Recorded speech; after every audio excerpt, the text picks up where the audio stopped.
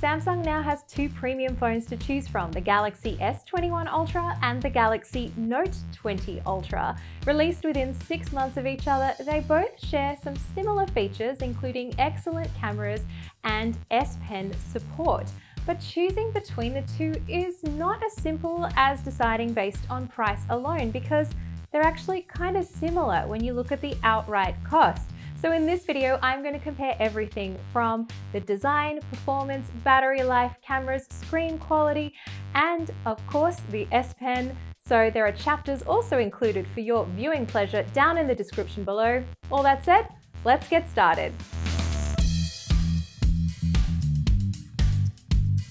Now these two phones not only look different from the outside, but they also were designed for slightly different purposes. The Note has traditionally been Samsung's line for productivity, whereas the Galaxy S line has traditionally been the flagship line. And because of that, they do have some stylistic differences to talk about. The first is the physical design in terms of the squared off edges on the Note 20 Ultra and more rounded edges on the S21 Ultra. Now both of these phones are pretty hefty. I definitely feel like I need to do some weight training to use these one-handed. Not just kidding, I'm actually not that weak. But in terms of how they feel one-handed to use, I actually think that the Galaxy S21 Ultra, the weight is distributed a little bit better for my hand and using it with one hand, just because that camera module is balanced better than the kind of domino style on the Note 20 Ultra, which is a little bit more top heavy. Now let's talk about screens. They both share a dynamic AMOLED display, although slightly different in size. The Note 20 Ultra is just a touch bigger at 6.9 inches, whereas the S21 Ultra is 6.8 inches. They both have that Infinity O display with that cutout for the selfie camera at the top and of course, they both have 120 Hertz refresh rate. It is adaptive on both of them, so it's dynamically changing depending on what you're doing. Now there is a little bit of a difference when we are talking about using 120 Hertz on both of them. So yes, they both have the adaptive refresh rate, but in terms of the maximum resolution that you get when you are using 120 Hertz, you actually get the highest WQHD plus resolution on the S21 Ultra at 120 Hertz, whereas if you're using 120 on the Note 20 Ultra, you are only able to get full HD plus resolution. So that's something to keep in mind. These phones also both have an in-screen fingerprint reader. Now, the S21 Ultra, as you would expect, uses a slightly newer technology. The Qualcomm ultrasonic fingerprint reader is a little bit larger and supposedly uh, a little faster. I don't know if I can actually say scientifically if it's faster, definitely anecdotally in my testing, it feels perhaps a fraction of a hair faster, or maybe that's just the new shiny phone feeling. But uh, overall, it works effectively on both. I say it's a little bit more accurate in terms of less fails on the S21 Ultra. How about that? Now let's talk about the glass. Now both of these phones have a glass on the front and the back, which is Gorilla Glass Victus, which is Gorilla Glass's latest and strongest glass. Side note, we have done a drop test on both of these phones and uh, let me just give you the bad news. You're gonna have to put a case on one of these phones, whichever one you get, both of them actually, because glass will break. And the IP rating of both of these is IP68, which means that they are water and dust resistant. Um, but again, be careful because none of this is covered under warranty if uh, you hurt your phone in the swimming pool. And finally, colors. The S21 Ultra is back in black, baby. I think that I'm, okay, so I'm not a color person. I don't get obsessed about what color, what finish a phone comes in except when it comes to this phone. I don't know, there's some alchemy about that matte black finish. It just looks fantastic and honestly, film photos don't do it justice. It looks great. Nothing against the rose gold or the mystic bronze of the Note 20 Ultra. There are other colors, of course, on both of the phones, but I'm kind of focusing on their flagship colors. It just feels a little bit 2020. Now this is the first generation of Galaxy S phones that offer support for the S Pen and that might make you feel a little bit panicked if you are a fan of the Note series. I know that I definitely love the Note series, so I was a little bit concerned going into using the S Pen with the Galaxy S21 Ultra but the functionality is actually slightly different. So what you need to know is that there is Bluetooth support for the S Pen and of course the integrated S Pen into the actual phone body on the Note 20 Ultra and the S Pen is compatible with the S21 Ultra. However, it is not Bluetooth compatible. So that means you lose out on certain functionalities such as if you leave the S Pen behind and walk away with your phone, you don't get a notification that you've left it behind, which is kind of sad. You, you get that on the Note 20 Ultra. That being said, there is going to be an S Pen Pro that does have Bluetooth support coming out later in the year. The things that they share, you can take notes, you can annotate screenshots, you can translate text that you've scribbled into words and convert that, or align your handwriting, for example. But what you can do on the Note 20 Ultra as well are air actions and air gestures. So you can use the S Pen to do things like swipe back and forth between pages or apps, songs, tracks, open the selfie camera, switch to the main rear camera and use it as a remote shutter, which is kind of nice, but to be fair, I really didn't feel like I missed out on any of those actions when I went to the S21 Ultra because most of the time when I was using those air actions on the Note 20 Ultra, I just felt like a really bad, mad conductor. But one thing that might sway your decision to choose the Note instead of the S21 Ultra if you are thinking about S Pen support is latency.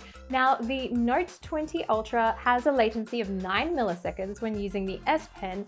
We don't know what it is on the S21 Ultra, but assuming it's not going to be as fast as the Note 20 Ultra. That said, I did some side-by-side -side tests of doing scribbling but I really didn't notice that much of a difference. Maybe my brain is super slow, but I really couldn't tell much of a difference. I would say if you were an artist or someone who likes to do a lot of precise drawing, the Note 20 Ultra probably feels a little bit more precise, but for most people, myself included, the S21 Ultra was perfect. Let's talk about the camera and the hardware and image processing because there's actually a bit of a significant difference here. Now, both of them share an ultra wide, a regular wide angle camera at 108 megapixels and a telephoto camera, which is five times on the Note 20 Ultra and three times and 10 times on the S21 Ultra. And let me tell you, if you like to zoom, you know, we all like to be able to use camera zoom, right? The S21 Ultra is going to be your best bet. Now I did a couple of different comparisons at different focal lengths to show you just how close you can get with each camera. Now at the, I guess five times optical zoom range, it's obvious that the Note 20 Ultra looks better compared to the hybrid zoom that is on the S21 Ultra at five times. But if you want the most flexibility at three and 10, and then beyond, the S21 Ultra does look better. Now I'll show you a photo comparison at the regular one times or just on the wide angle camera, and then at 50 times, which is the maximum that the Note 20 Ultra can go to, and half of the maximum that the S21 Ultra can go to. And you'll see the difference is pretty clear. The S21 Ultra definitely has much more definition, captures more detail at that extreme length than the Note 20 Ultra. Now, that being said, I would not go any further than 50 times with this. Yeah, you can go to 100 times, but it looks pretty bad. I would avoid it at all costs. For regular shots taken at 12 megapixels, I honestly think both of the phones do an excellent job in good lighting conditions. It's really hard to tell the difference between the two. I mean, sure, you could probably pick it a little bit apart in terms of like contrast and color saturation, for example, but overall, they both look really good. And that's thanks to pixel binning technology, which is taking all that data from the big 108 megapixel sensor and consolidating it into a much more manageable 12 megapixel file. While both have that 108 megapixel sensor, the S21 Ultra does seem to have better focus, and I do prefer how it renders the shallow depth of field compared to the Note. For night mode photos, the S21 is generally a lot sharper, especially if you look at photos at full magnification. But the processing really ups the sharpness and the saturation compared to the same shot on the Note. I'm not really a selfie kind of gal, but I will tell you that the selfie cameras are fairly similar in performance, except for the fact that the S21 Ultra has a 40 megapixel sensor, but that's not really what I care about. I care about the accuracy of the color rendition. And finally, Samsung has given us a normal and a bright setting as for video performance, well, I think that they both do a really good job, although I can see some improvements when shooting at 4K 60, which is my preferred resolution to shoot at. On the S21 Ultra, it just looks a little bit cleaner in terms of the image overall. The stabilization also looks to be improved for me, and I think the dynamic range is just a little bit better on the newer phone, which is not a surprise. They can both shoot at 8K at 24 frames a second if you want. We do have some 8K samples available for you on our CNET's highlights channel. Um, although this video is rendered in 4K, so you will not see 8K right here, but definitely click out and go check out those samples for yourself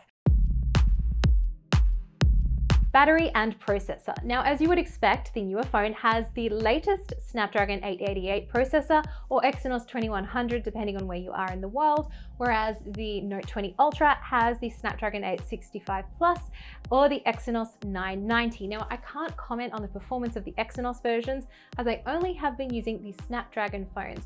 Now, to me, the real test of performance is real world testing rather than showing you the benchmarks. So I have done a lot of different things in my testing, including playing games, shooting and editing a lot of 4K and 8K video, as well as regular day-to-day -day tasks. And really, honestly, there's nothing that I could have thrown at these phones that they weren't able to cope with. The only thing is I did anecdotally notice that the S21 Ultra was a little faster when it came to doing some really resource intensive stuff like cutting down an 8K video, for example. It was just a little bit faster on the S21 Ultra.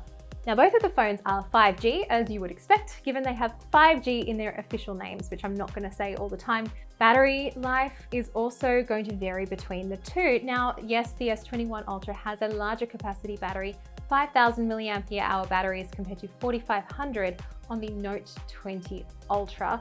Now, bigger is not always better, as some people might tell you, because it does come down to performance and how you use the phone and what settings that you have that also plays a huge part in battery life and overall performance. Now, I will say that both of these phones 100% will get me through the day with juice to spare. I generally think that the standby time though on the Note 20 Ultra is a little bit better than that on the S21 Ultra. And I'll tell you why. When I have the new phone, I'm sorry, I'm going all out. I'm going large or I'm going home because I use everything I can. I'm shooting 4K video, 8K video. I'm using the WQHD Plus screen. I'm using 120 Hertz refresh rate. You ain't gonna make me go to 60. So that's why the standby time and overall battery life for me on the S21 Ultra with all of those features maxed out is not as much as the equivalent. If you are a numbers person and do like the specific amounts, you can go to our full review on cnet.com and you can find the full results of our battery tests on both of these two phones. When it comes to wireless charging, of course, they are both wirelessly charged enabled and they also wired charge through USB-C at 25 watts.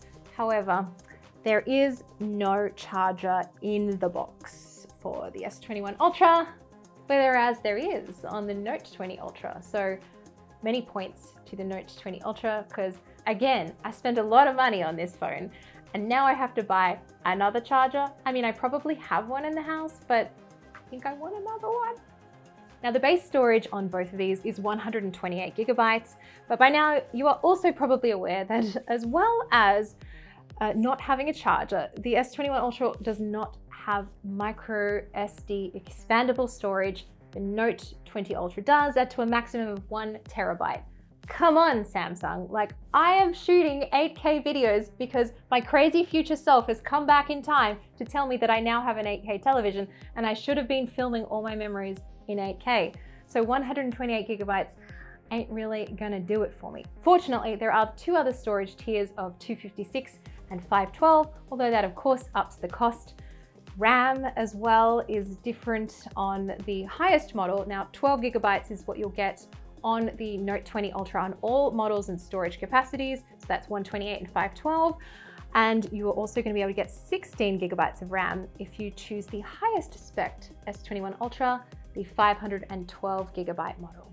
Still not enough storage for me. Just, I'm done.